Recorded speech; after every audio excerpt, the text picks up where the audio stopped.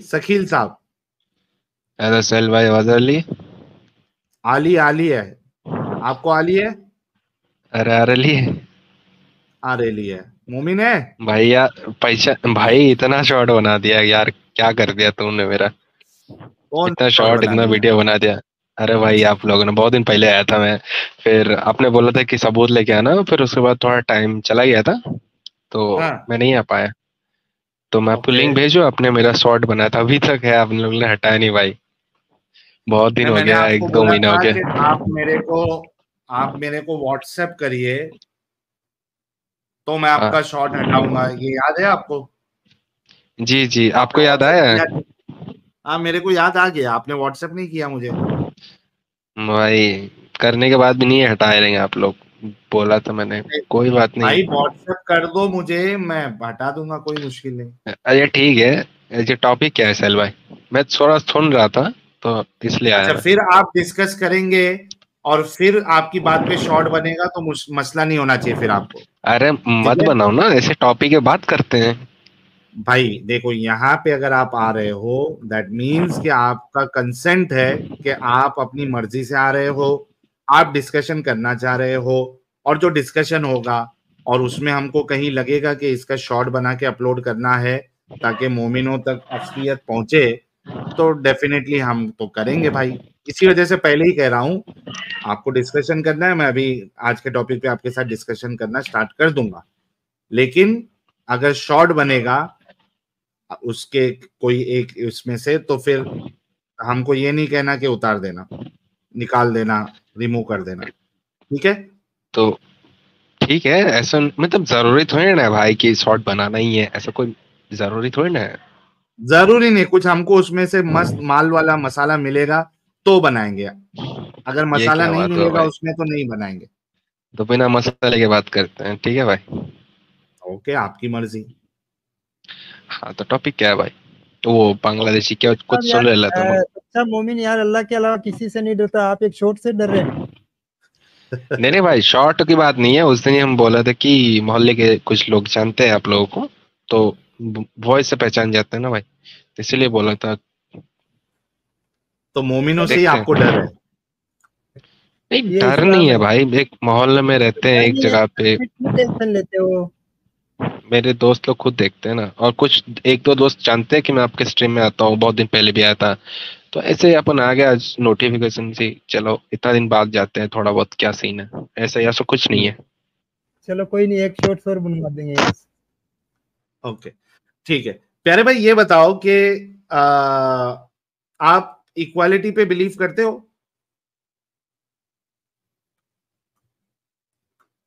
पहले बताइए किस माने कौन से बेसिस पे बत, आप बता रहे हैं? हर एक इंसान हर एक इंसान जो है वो बराबर है। कोई किसी से ऊँचा नीचा उसकी आइडियोलॉजी के बुनियाद पे नहीं है। हर किसी को अपना हाँ। रिलीजन फॉलो करने का हक है। दुनिया के किसी भी कोने में। बिल्कुल ठीक है। बिल्कुल।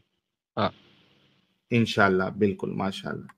अच्छा ये बताओ कि आपका अल्लाह तो कुरान में ये कह रहा है कि जो अल्लाह और आखिरत के दिन पे ईमान नहीं रखते। और हम्म। अल्लाह और रसूल ने जो चीज़ों को हराम किया है उसको हराम नहीं समझते और दीन हक को कबूल नहीं करते तो ऐसे लोगों से लड़ाई करो यहाँ तक कि वो जलील होके जिजिया दे। तो भाई ये इक्वालिटी और फ्रीडम ऑफ़ रिलीजन ये कहाँ चले गया?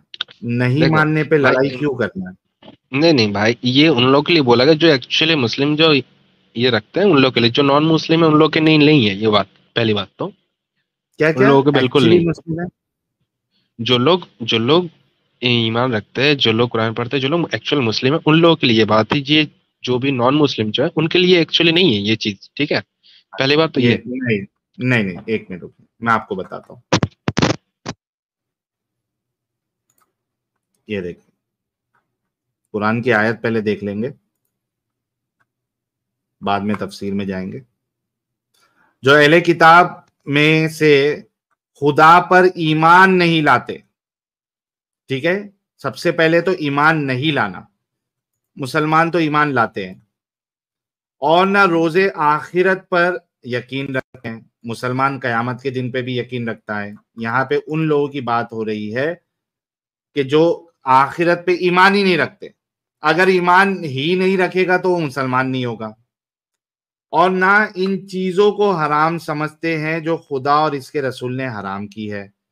मुसलमान भले से ही शराब पी ले, लेकिन वो शराब को हराम समझता है, हराम समझ के पीता है। ये उन लोगों की बात हो रही है जो मुसलमान नहीं है, जो शराब को हराम ही नहीं समझते, जो सुअर को हराम नहीं समझते, उसका यानी गोश्त हराम नहीं समझते। ये उन लोगों की बात हो रही है जो मुसलमान नहीं है। और इसके रसूल ने हराम की है और न दीन हक को कबूल करते, जो इस्लाम को कबूल नहीं करते, इनसे जंग करो। यहाँ तक के जलील होकर अपने हाथ से जिजिया दे। तो भाई, यहाँ मुसलमानों के खिलाफ जंग करने के लिए नहीं कहा जा रहा, आप झूठ बोल रहे हैं। यहाँ उन लोगों से जंग करने के लिए कहा जा रहा है जो मुसलमान नहीं है। जी।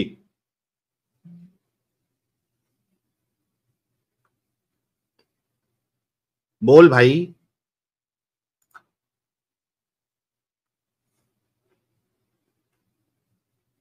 क्या इसकी आवाज़ आ रही है अमित? आज इसका फिर शॉर्ट बनेगा रुकना। नहीं आ रही आवाज़। हाँ। हेलो। हाँ बोल। भाई आपको सुनाई नहीं दे रहा था ना इसीलिए। हाँ मैंने आपको अभी बताया कुरान की जो आयत है। हाँ, मुसलमानों के लिए तो भाई है। यहाँ पे ओके ओके। तो हम्म। भाई यहाँ पे कहीं पे भी पॉइंट आउट किया या स्पेसिफिकली लिखा हुआ है कि हिंदू या फिर क्रिश्चियन इन लोग के कहीं लिखा है या आप बताइए? अच्छा। आप शौचालय जाते हैं? भाई क्या बात कर स्ट्रीम में बैठ के? पूछ रहा हूँ पूछ रहा हूँ। नहीं आप लोगों की आप लोगों का आईक्यू लेवल इतना गिरा हुआ है इतना डाउन है कि हमको फिर एग्जाम्पल्स देने पड़ते हैं। आप शौचालय जाते हैं? भाई मैं क्या पूरी दुनिया जाती है?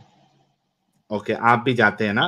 अच्छा वहाँ पे मेल टॉयलेट में जाते हैं आप? क्या बात कर रहा भाई? किसमें जाते हैं? मेल टॉयलेट में जाते हैं फीमेल टॉयलेट में जाते हैं? अब टॉपिक में बात कीजिए ना भाई क्या बात कर रहे हैं आप? हाँ तेरे को समझा रहा हूँ भाई बोल तो सही। हाँ जाते हैं। मेल टॉयलेट में जाते हैं ना? क्या फीमेल हाँ, में। जाते हैं? मेल में जाता है। मेल में। क्या तुम्हारा नाम लिखा हुआ है उधर? हाँ लिखा हुआ है मेल टॉयलेट आपका नाम मेल है? मेल नहीं मेल मतलब तो हम लोग होते हैं ना लड़के लोग मेल लड़के लोग होते हैं उसमें ज़रूरी नहीं ना स्पेसिफिकली आपका नाम भी लिखा जाए तब आपको एंट्री होगी। तो स्पेसिफिकली हो जेंडर तो लिखा होता है ना? जेंडर लिखा हुआ है ना? आपका नाम तो नहीं हाँ। लिखा हुआ है। अरे भाई इसका मतलब लड़का देख आप दोनों चीज़ को बहुत डिफ्रेंशिएट कर रहे हैं पहली बात ठीक है? ये पहले इतना समझो पहले आपका एग्जैक्ट नाम तो नहीं लिखा हुआ है ना? हाँ। नहीं लिखा हुआ है। मेल लिखा हुआ है मेल लिखा हुआ है और आप मेल कैटेगरी में आते हो। उसी तरीके से फीमेल टॉयलेट है आप अंदर जा नहीं सकते ये कहकर कि भाई यहाँ पे मेरा नाम लिखा नहीं हुआ है कि मैं नहीं जाऊँ। जी। उसमें ओनली फीमेल जब लिखा हुआ है दैट मीन्स कि सिर्फ़ फीमेल वहाँ पे जाएँगी। नाम स्पेसिफिकली होने की ज़रूरत नहीं होती। है इसी तरीके से हाँ, जब तो यहाँ पे मतलब तो टॉयलेट लिखा हुआ था। तो इसका मतलब सिर्फ़ टॉयलेट लिखा था ना ही मेल ना ही फीमेल लिखा हुआ था। ज़रूरत ही नहीं था इसका मतलब। हाँ एग्जैक्टली exactly. वहाँ पे लक्षण बताए जा रहे हैं कि कौन अंदर जाएगा कौन नहीं जाएगा। तो इसी हिसाब से तो यहाँ पे यही तफसीर में ये लिखा है ना भाई सही भाई। कि- सुन तो सही। नहीं आप गलत इंटरप्रिटेशन कर रहे हो ना भाई यहाँ पे। यहीं पे तो अच्छा एक सीन है ना। एक बात बता। क्या हिंदू अल्लाह पे ईमान रखते हैं? भाई मैं तो कभी हिंदू नहीं बना ना ही कभी बनूँगा अल्हम्दुलिल्लाह। तो मुझे क्या पता? अच्छा आपको ये पता भी नहीं है कि अल्लाह हिंदू जो है अल्लाह को नहीं मानते? मुझे नहीं पता भाई। अच्छा देखिए यही आप लोगों की धोखेबाजी और दगाबाजी है कि आप लोग है ना झूठ का सहारा लेते। ये सोचिए आप लोग कि ये कह रहा है कि मुझे नहीं मालूम हिंदू अल्लाह को मानते या नहीं मानते। अभी यहाँ जितने हिंदू है मानते होंगे मानते होंगे। अच्छा अगर मानते होते तो वो मुसलमान नहीं होते। रब सबका एक ही है ठीक है? तो इसका मतलब यह नहीं कि मानने वाला रब अच्छा अगर रब सबका एक है तो तुम श्री राम को खुदा मानोगे? क्या बोल रहे मैं ये बोल रहा हूँ कि अगर रब सबका एक है तो आप श्री राम को खुदा मानोगे? हाँ तो अल्लाह सबका एक ही है। सही बात है। तो बोलो श्री राम मेरे खुदा है बोलो। तो भाई अगर श्री राम खुदा है तो लोग मानते ना? हम्म, तू मानता तो है क्या? पे हम लोग नहीं मैं क्यों नहीं मानू? Exactly exactly. जैसे तू नहीं मानता श्री राम को खुदा उसी तरीके से वो तेरे अल्लाह को खुदा नहीं मानते। तो भाई वो लोग वो लोग तो उसकी उसकी पर्सपेक्टिव है ना देखने का। वहाँ पे मैं क्या कर सकता हूँ? हाँ वो किसी का भी पर्सपेक्टिव है यही मैं कहना चाह रहा हूँ। कि इंसानों का अलग अलग पर्सपेक्टिव होता है और उसी के साथ उनको जीने देना चाहिए। लेकिन तुम्हारा कुरान कहता है कि जो हमारे पर्सपेक्टिव को नहीं माने उनसे जंग करो और यहाँ तक कि वो जलील होके गुंडा टैक्स जिजिया ना दे दे। यही तुझे समझाने की कोशिश कर रहा हूँ कि जिसका जो पर्सपेक्टिव है इसीलिए बोलता है कि इसीलिए वो अल्लाह बोलता है कि वो लोग सही ईमान पे आए। ठीक है वो जो भटके हैं ना हिंदू अच्छा क्रिश्चियन बन के को सही ईमान पे लाने के लिए उनसे जंग करना है। जंग नहीं करना है वो बस एक अरे समझौता कह रहा है जंग करो कुरान में। वो जंग नहीं होता है भाई जो तुम लोग बोल रहे हो जंग वो बिल्कुल जंग नहीं है। वो एकदम भी जंग नहीं है। अच्छा अगर तुम लोग है। नहीं नहीं आप लोग जो दिखा रहे हो जो बता रहे हो वो हेट स्पीच जो है रहे वो एक्चुअली वो चीज़ नहीं है। जंग मतलब क्या? सबको शामिल हेट स्पीच तो तेरे कुरान में लिखा हुआ है। मैं क्या करूँ? वो तुम्हारा कुरान है। तो तेरा कुरान लेके आ भाई तेरे घर में कुरान है। लो भाई ये हमारा हाँ, कुरान हो गया अभी। ये, ये हमारा कुरान हो गया। एक मिनट एक मिनट एक मिनट। तू अभी घर पे है? हाँ सो रहे अपन। सो रहे है जरा उठ के जरा कुरान लेके आ रहे है जरा मेरे लिए। अम्मी अब्बू अभी सो रहे भाई कैसे ये सब? अरे अम्मी अब्बू के ऊपर छलांग मार के जाके कुरान लेके आ भाई। नहीं नहीं आप बताओ आप बताओ। क्या बोल रहे थे?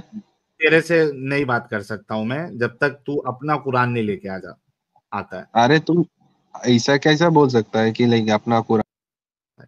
आई एम सॉरी भाई। तेरे से इतने लो आईक्यू लेवल बंदे से तो मैं बात ही नहीं कर सकता हूँ। एक्चुअली लो आईक्यू लेवल नहीं है तेरा। तुम लोग धोखेबाज हो। और इसका भी शॉर्ट बना के डाल देना कि ये कह बोल रहा था कि ये इसका कुरान नहीं है, ये मुसलमानों का कुरान नहीं है, ये मुर्तदों का कुरान है जो मैंने अभी पढ़ा है। इसका शॉर्ट बना के डालना और इसके दोस्त लोग जो देख रहे हैं, वो जाके इसकी, तुम्हारे वहाँ की जो मस्जिद होगी, वहाँ पे जाके बताना कि ये हमारे कुरान को मुर्तदों का कुरान कहता है।